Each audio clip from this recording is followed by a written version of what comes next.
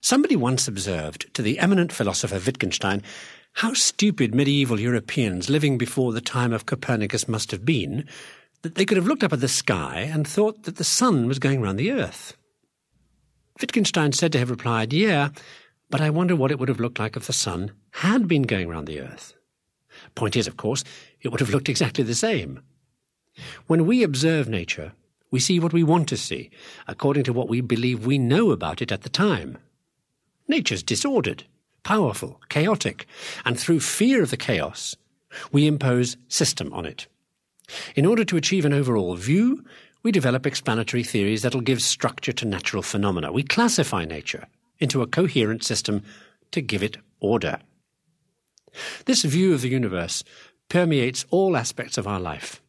All communities, in all places, at all times, manifest their own view of reality in what they do. The entire culture reflects the contemporary model of reality. We are what we know. And when the body of knowledge changes, so do we. Each change brings with it new attitudes and institutions created by new knowledge. These novel systems then oust or coexist with the structures and attitudes held before the change. So our modern view is a mixture of present knowledge and past views that have stood the test of time. In looking at the historical circumstances that gave birth to those apparently anachronistic elements, which I'm going to attempt to do, it'll be seen that at each stage of knowledge, the general agreement of what the universe is supposed to be takes the form of a kind of shorthand code that everybody shares. Just as speech needs grammar to make sense of strings of words, so agreed structures are used by a community to give meaning to social interaction. Those forms primarily take the shape of rituals.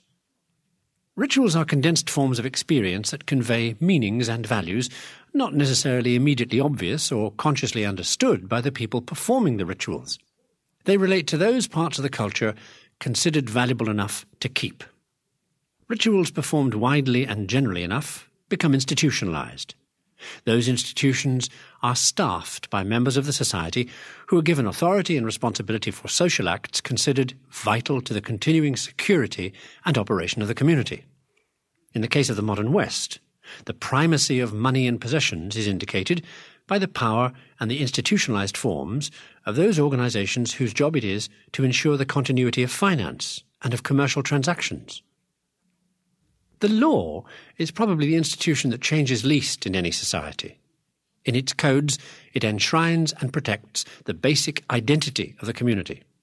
The particularly anachronistic way in which legal proceedings are carried on today indicates the value society places on the institution. It hasn't changed. One of the principal aims of institutions is that they free up the majority of the group to do other things considered necessary for the welfare of all, like the production of wealth, the maintenance of health, and above all, passing on the community's view of life to the young.